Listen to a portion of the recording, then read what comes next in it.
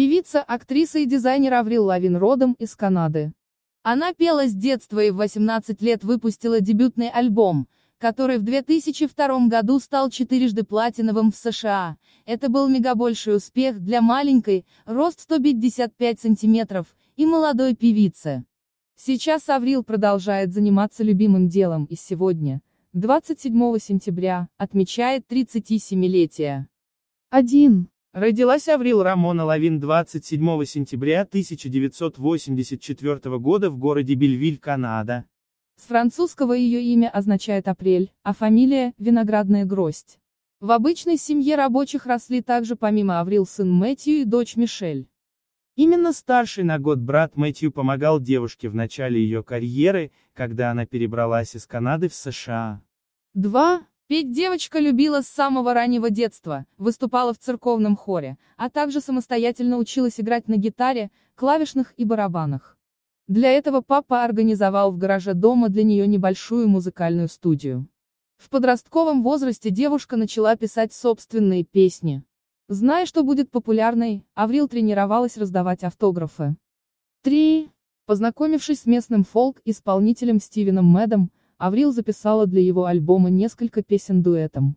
В 1998 году у Лавин появился первый менеджер, и с этого момента ее карьера получила развитие, знакомство с продюсерами, прослушивание в Нью-Йорке, контракт с американской студией звукозаписи на выпуск два альбома стоимостью 1,25 миллиона долларов.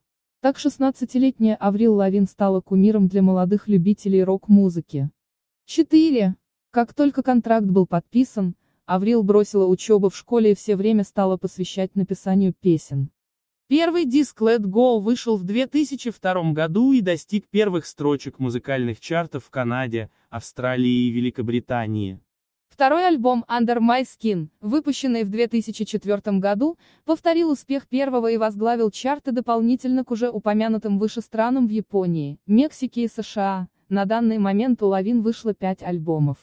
5. Свою песню Girlfriend с трех альбома Аврил записала не нескольких языках, в том числе итальянском, японском и северокитайском. Песня попала в список самых популярных песен десятилетия, была скачана более 7 миллионов раз. 6. Лавин несколько раз снималась для журнала Maxim и появлялась на его обложке. А вообще молодая певица предпочитала мальчишеский стиль в одежде, мешковатые штаны, футболки, кеды. В прессе ее называли принцессой поп-панка. Позже поменяла стиль на более готический, предпочитая черные цвета в одежде. А еще повзрослев, начала носить каблуки, более женственную одежду и сделала розовые приди в волосах. 7. Аврил Лавин выпустила свою линейку гитар для марки Fender, разработала дизайн для инструмента и добавила ему кое-какие технические особенности. Также Лавин является создателем своего бренда одежды Абидон, так называл Аврил в детстве ее папа, в котором преобладали черный, розовый и пурпурный цвета. И даже в 2009 году участвовала с коллекцией своей одежды в Нью-Йоркской неделе моды.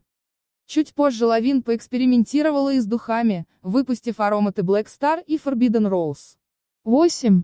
Как и многие другие знаменитости, певица занимается благотворительностью и даже основала свой фонд помощи детям с ограниченными возможностями и серьезными заболеваниями. 9. Аврил вегетарианка, в спорте предпочитает занятия футболом, серфингом, йогой и катание на роликах и скейтборде. Фигура у девушки стабильно стройная, она может есть все, что захочет и не поправляться. 10. В 2006 году Аврил вышла замуж за певца Дерека Уибли. Несмотря на тогдашний стиль девушки и ожидания других, что она пойдет под венец в черном платье, все было вполне традиционно и Лавин шла к алтарю под марш Мендельсона в белом платье от Веры Вонг. Брак был недолгим, через три года пара начала оформлять развод. Вторым мужем певицы стал вокалист группы Николбек Чот Клюгер. В 2013 году состоялась их свадьба во Франции. В этот раз Аврил надела черное платье и ее образ был очень стильным. Семейная жизнь продлилась два года и снова грянул развод. Сейчас Аврил не замужем, но встречается с певцом Мод Сан, Дерек Райан Смит. Познакомились они в прошлом году, когда записывали вместе песню Flames. В 37 лет она практически не изменилась, Поменялся только стиль в одежде, стал более женственным и соответствующим ее возрасту. Она уже не та бунтарка-тинейджер, а взрослая успешная певица. Желаем ей успехов во всех сферах жизни. С днем рождения, Аврил!